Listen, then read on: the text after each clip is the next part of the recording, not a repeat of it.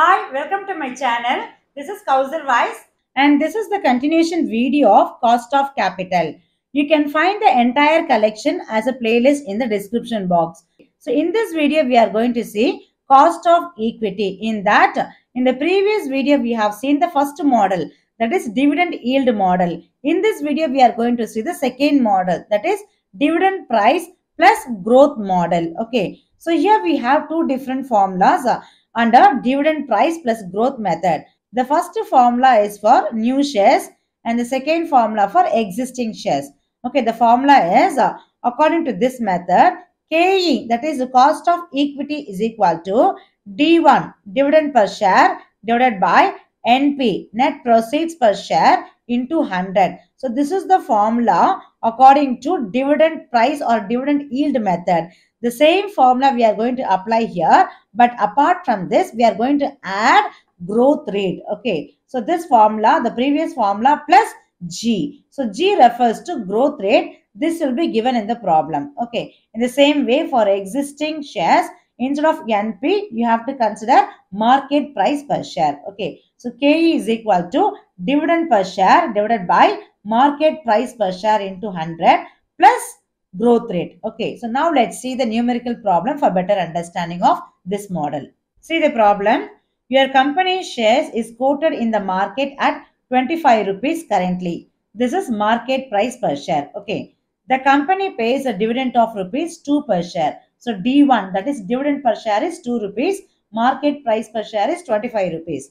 Okay. The investors expected a growth rate of 5 percentage per year. So G growth rate is 5 percentage per year. So all the informations are there. With this information, they're asking you to find out. See the first one, compute the company's cost of equity capital. So based on the information given in the problem, we are going to calculate cost of equity first. So after finding this, then we'll move on to case 2 and case 3. Okay, now let's see the solution. See the solution, computation of cost of equity. So what is the formula to find out the cost of equity? So in this problem, they have given market price. No. So this is the formula. D1 dividend per share divided by MP market price per share into 100 plus G. G refers to growth rate. That is also given in the problem. Now substitute the formula. D1 how much? 2 rupees per share. 2 divided by market price per share 25 rupees. 25 into 100. Okay, after finding the percentage, then we can add growth rate. So how much growth rate? 5 percentage. Okay, now KE that is cost of equity is equal to 2 divided by 25 into 100 you'll be getting 8 percentage plus 5 percentage growth rate. So total 13 percentage. So this is the cost of equity according to dividend price plus growth method. Now we'll see the second case. Look at the second case. If the anticipated growth rate is 7 percentage, okay, as per the present scenario, the growth rate is 5 percentage. No, now if the anticipated growth rate is 7 percentage, calculate the indicated market price per share. Here the missing figure is market price and growth rate is instead of 5, we are going to apply 7 percentage. Okay, we are going to find out the market price. What about dividend per share? So dividend per share, you can take the value as it is. It is given in the problem. So dividend is remain same. Growth rate is 7 percentage and our missing figure is market price. We can use the same formula to find out the market price. Now let's see the solution. See the solution. Computation of market price per share. Here the missing figure is market price per share and all other informations are given. Okay. But uh, if the growth rate is 7 percentage, so existing growth rate is 5 percentage. No. Now the revised value is 7 percentage. So D1 is remain same. 2 rupees. Uh, market price we have to find out that is the missing figure. And KE cost of equity we can consider the existing value 13 percentage. So all the informations are there but the missing figure is market price. See the calculation. KE 13 percentage is equal to D1 2 rupees per share divided by market price is missing into 100. The growth rate is 7 percentage. Now 13 percentage minus 7 percentage. Just transfer this value in the left hand side. 13 percentage minus 7 percentage is equal to 2 by market price into 100 into 2 by MP into 100. Cross multiplication MP here 6 percentage will be transferred to here.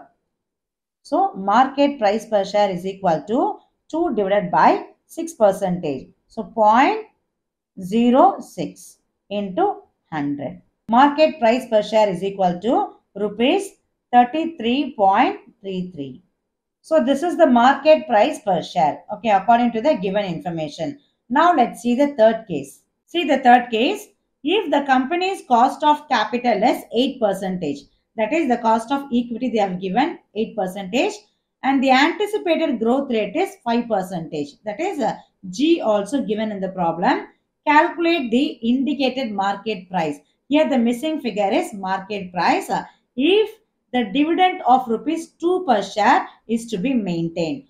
Everything they have given. G is 2 per share and cost of equity is 8 percentage uh, and growth rate is 5 percentage. So the missing figure is market price per share. Now let's see the calculation. See the calculation. Computation of market price. KE, cost of capital how much? 8 percentage. Dividend per share 2 rupees. Growth rate is 5 percentage. So everything they have given, simply we are going to substitute in the formula to find out the market price. That is a missing figure. Okay, so KE 8 percentage, no, 8 percentage is equal to D1 2 rupees divided by market price that is a missing figure into 100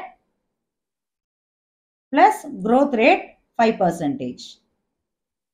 Okay, so now we can transfer the 5 percentage into this side. So 8 percentage minus 5 percentage is equal to 2 by market price per share into 100. So 8 minus 5, 3 percentage is equal to 2 by MP into 100.